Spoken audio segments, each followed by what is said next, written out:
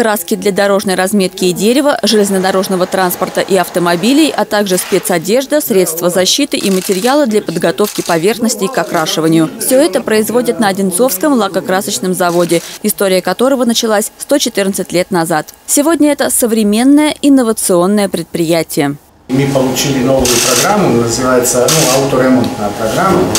Если кто-то не бог царапал машину, он знает, в чем дело. Значит, э, и мы имеем здесь э, японские э, материалы, это бренд Ретан, и материалы, которые производятся тоже совместно с предприятием Канзая в Турции, это бренд Кардер. И фактически вот здесь, в этой лаборатории, происходит вся подготовка разных нюансов, которые ну, за разные машины могут быть потребованы. Ознакомиться с производством и провести рабочую встречу с руководством компании приехал глава Одинцовского округа.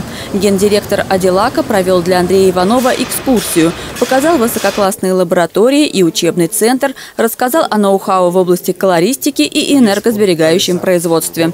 А затем гости вместе с акционерами обсудили планы по дальнейшей модернизации и развитию предприятия.